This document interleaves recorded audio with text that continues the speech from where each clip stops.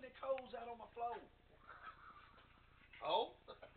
Who's putting their clothes out on my floor?